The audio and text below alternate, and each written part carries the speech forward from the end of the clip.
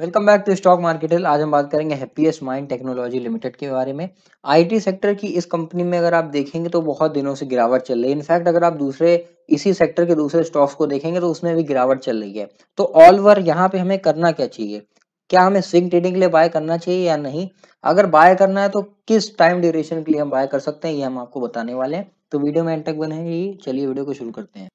यहाँ पे चलिए देखते हैं यहाँ पे कंपनी का फंडामेंटल तो अगर आप देखेंगे तो मिड कैप की कंपनी है, बारह हज़ार आठ सौ तिरानवे, यानी तेरह हज़ार करोड़ के आसपास मार्केट कैप चल रहा है। R O C R O काफ़ी अच्छा है। तीस परसेंट के ऊपर R O C R O देखने को मिल रहा है। हालाँकि वैल्यूएशन थोड़ा सा यहाँ पे स्टॉक का हाई है और लगातार इसमें जब गिरावट हो रही है तो ये वैल्यूएशन और कम हुआ है।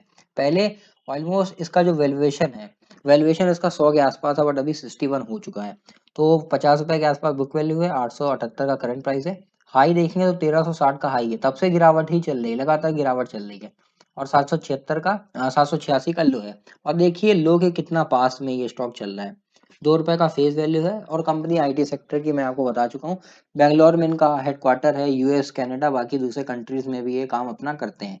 बाकी अगर आप कंपनी के नंबर्स देखेंगे तो कंपनी के नंबर्स बुरे नहीं है, लेकिन जिस तरह से सेक्टर परफॉर्म कर रहा है, ये स्टॉक भी उसी सेक्टर को फॉलो कर रहा है। यहाँ पे सेल देखेंगे, लगातार बढ़ी है प्रॉफिट भी बढ़ा है सत्ताईस करोड़ से पचपन करोड़। तो मैंने जैसा कि आपको बताया कि इसमें गिरावट इसीलिए हो रही है क्योंकि ये सेक्टर को फॉलो कर रहा है, जो भी स्टॉक सेक्टर को फॉलो करते हैं अकॉर्डिंग टू सेक्टर चलते हैं। साल दर साल देखेंगे तो यहाँ पे भी कोई भी कमी नहीं है, लगातार कंपनी ने अच्छा परफॉर्म किया सेल्स बढ़ी है, और यहाँ पे नेट प्रॉफिट माइनस से कंपनी प्लस में आ गई प्रॉफिट में भी आ गई है। कैश फ्लो देखेंगे तो 36 करोड़ से माइनस चौबीस करोड़ हो चुका है यहाँ पे शेयर होल्डिंग पैटर्न देखेंगे तो प्रोमोटर का स्टेक्स में 53 परसेंट के आसपास है 4 परसेंट की होल्डिंग पिछले क्वार्टर में थी एफआई की, यहाँ पे देखेंगे तो थोड़ी सी कम हुई 0.06 कम हुई है। डी की होल्डिंग 1.48 है 38.65 है। पब्लिक की बाकी बची हुई अदर्स की हमें देखने को यहाँ पे मिल रही है।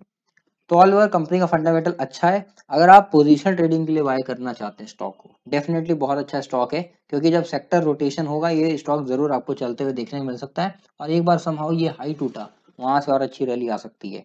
स्टॉक के चार्ट पे आ चुके देखिए, यहाँ पे सपोर्ट की बात करें तो ऑलमोस्ट 826 का एक सपोर्ट बन रहा है, लेकिन ये बहुत बहुत बड़े टाइम फ्रेम का सपोर्ट नहीं है। अगर आप देखेंगे वन वीक का चार्ट इसमें तो यहाँ पे आपको समझ में आ जाएगा कि जो बहुत बड़े टाइम फ्रेम का सपोर्ट है, वो कहीं कहीं नीचे है 332 और उतना तो स्टॉक आएगा नहीं आ भी सकता है, यहाँ पे मार्केट है, कुछ यहाँ पे कहा नहीं जा सकता बट जो मैक्सिमम चांसेस दिख रही है, वो दिख रही 806 के आसपास 806 के आसपास, क्योंकि एक अच्छा सपोर्ट बन रहा है, और उसके ऊपर मैंने बताया 846 ये दोनों लेवल है, इसको आप चाहे तो नोट डाउन कर सकते हैं। बाकी जैसा कि मैंने आपको बताया, अगर आप पोजीशन ट्रेडिंग करते हैं तो डेफिनेटली बहुत अच्छे लेवल पे स्टॉक चल रहा है, अभी दूसरे सेक्टर चल रहे हैं बट अचानक से आईटी सेक्टर जब परफॉर्म करेगा, वहाँ से आपको बहुत अच्छा फ़ायदा मिल सकता है। डेफिनेटली आपके पोर्टफोलियो में स्टॉक होना चाहिए। आईटी सेक्टर की जो भी फंडामेंटली अच्छी कंपनीज़ है, वो आपके पोर्टफोलियो में होना चाहिए। देखिए, मैं आपको तरीका बताता हूँ। लोग यहाँ पे कैसे प्रॉफिट करते हैं, वो मैं आपको बताता हूँ। अगर आप पोजिशन ट्रेडिंग करते हैं तो ऐसे ऐसे सेक्टर पे फोकस अभी करिए जो बिल्कुल नहीं चल रहा हो। बिल्कुल नहीं चल रहा हो। और बहुत दिनों से गिरावट हो रही हो। लगभग साल, डेढ़ साल से नहीं चल रहा है। ऐसे सेक्टर को पकड़िए उन सेक्टर की टॉप कंपनी में चाहे, या फिर जो भी उसकी ठीक ठाक कंपनी है मिड कैप की कंपनी है, उनमें पैसे लगाइए।